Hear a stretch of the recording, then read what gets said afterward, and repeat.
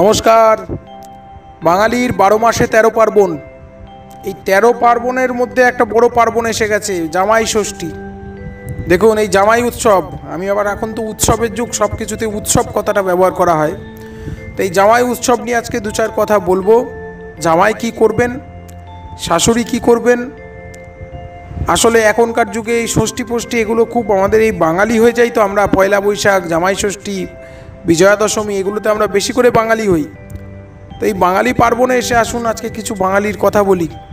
এই জামাই ষষ্ঠীটা আসলে কি আমরা এখন প্রচলিত জামাই ষষ্ঠী দেখি কি?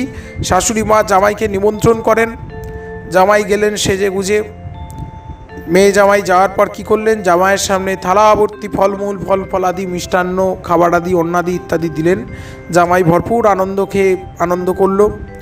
তালপাতার বাতাস করলেন তালপাতার পাখার। তারপর কি হলো? গিভ অ্যান্ড টেক পলিসি জামাই শাশুড়িকে প্রণাম করল, তাকে উপঢৌকনাদি দিল, আর শাশুড়ি জামাইকে তার প্রত্যাশিত বা অপ্রত্যাশিত উপহার দিলেন। মিটে গেল জামাই ষষ্ঠীর পর্ব, তাই তো? কিন্তু জামাই ষষ্ঠীর পিছনে আসলে কি আছে গল্প আজকে আমরা বলব, কেন ষষ্ঠী পালন করা হয়? জ্যৈষ্ঠ মাসে শুক্লপক্ষের ষষ্ঠী তিথি। এই তিথি নির্ভর একটা পার্বণ এবং এর পেছনে একটা গল্প আছে। দেখুন আজকে আমরা যেটা দেখি, আমরা বিবাহ মানে কি আমাদের ধর্মশাস্ত্র বলছে, পুত্রার্থে ক্রিয়তে ভার্চা, পুত্রের জন্য ভার্চা গ্রহণ। বিবাহ নামক পবিত্র সম্পর্কটার মধ্য দিয়ে আমাদের পরবর্তী জেনারেশন আসবে, পরবর্তী প্রজন্ম আসবে, মেয়ে জামাই দুজনের মিলনের মধ্য দিয়ে নাতি, নাতনি সন্ততি, সন্তান, এগুলো বংশবৃদ্ধি হবে।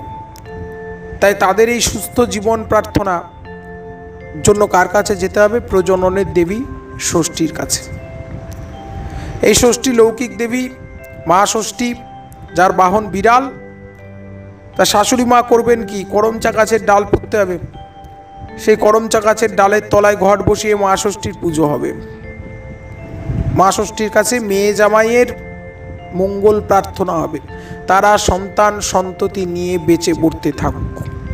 এই হচ্ছে এই ষষ্ঠীর নাম হচ্ছে অরণ্য ষষ্ঠী। এই অরণ্য ওই করমচা গাছের ডাল পোতা হয় ওই জন্য, অরণ্যর প্রতীক হিসেবে। অরণ্য ষষ্ঠী পালন করা হলো। এরপর কি করবেন?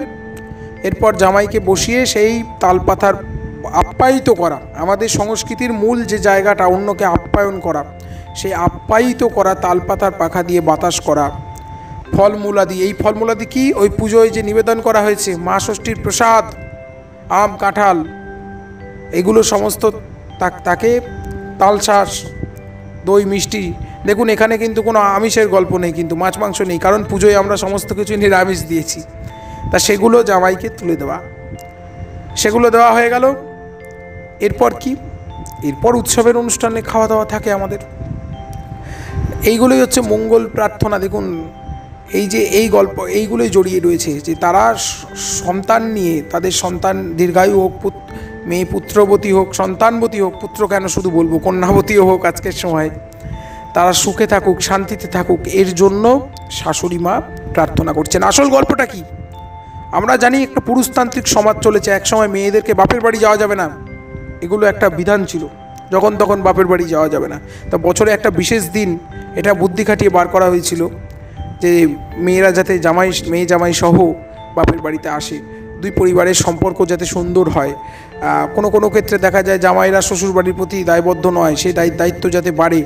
আচ্ছা, আসলে কি এই সম্পর্কটা যাতে সুন্দর হয়? আমরা দেখি বিয়ের পর মেয়ে শ্বশুরবাড়ি চলে যায় তাই তো? কোনো কোনো ক্ষেত্রে মেয়েকে শ্বশুরবাড়ির লোকজন মানিয়ে নিতে পারে কোনো কোনো ক্ষেত্রে পারে না। কিন্তু অপরপক্ষে জামাইকে একটা সুযোগ দেওয়া হয় বছরে একটা দিন সুযোগ দেওয়া হয় সেই শ্বশুরবাড়িতে এসে সকলকে যাতে সুন্দর করে আপন করে নেওয়ার একটা সুযোগ পায়। তো এই একটা ব্যাপার। এবার আসি আমাদের যে কোনো ব্রতর, ব্রত কথা শুনতে হয়, নইলে কিন্তু হয় না। তা সেই ব্রত কথা আপনাদের বলব যে এক এক বাড়িতে দুই বউ ছিল, ছোট বউ ছিল, অত্যন্ত লোভী। সে করতো কি? তার লোভের ঠেলায় সে কি করতো? বাড়িতে ভালো মন্দ মাছ, মাংস রান্না হলে কি করতো? লুকিয়ে লুকিয়ে সব খেয়ে নিত। আর বলতো, বিড়ালে খেয়ে গেছে। মা লক্ষ্মীর বাহন বিড়ালেতে, মা লক্ষ্মী অত্যন্ত, মা ষষ্ঠীর বাহন বিড়াল, মা ষষ্ঠী অত্যন্ত কুপিত হলেন। মা ষষ্ঠীর তখন তার সাত সন্তান এবং একটি কন্যা সন্তান সাতটি পুত্র একটি কন্যা বাচ্চা হওয়া মাত্রই সেগুলোকে বিড়ালে চুরি করে নিয়ে যেত আর মা ষষ্ঠী সেগুলোকে গ্রহণ করে নিতেন। তো এমন ঘটনার পর সেই লোভী বউ খুব দুঃখিত অবস্থায় একদিন বসে রইল এক বৃদ্ধা মা ষষ্ঠী বৃদ্ধার ছদ্মবেশ ধরে।